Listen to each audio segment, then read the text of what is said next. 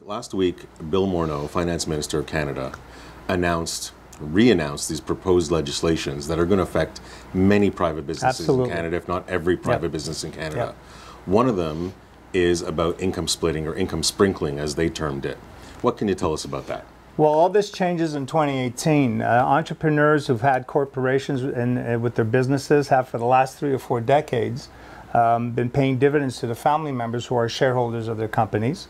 And the family members have been paying tax or whatever the rates are. And usually the rates are pretty low to let adult children uh, pay for their own expenses or spouses to stay at home and, pay for the uh, livelihood of the household. Now, starting in 2018, that, that's done. Uh, it's felt that was unfair.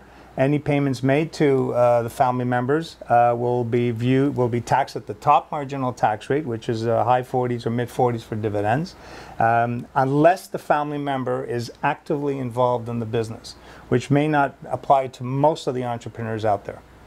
So, with the proposed legislation curtailing the income sprinkling or income splitting, what is that going to cost the private business owner? Oh, this we're talking thousands of dollars. This is not a, a, a couple of few, a few hundred bucks.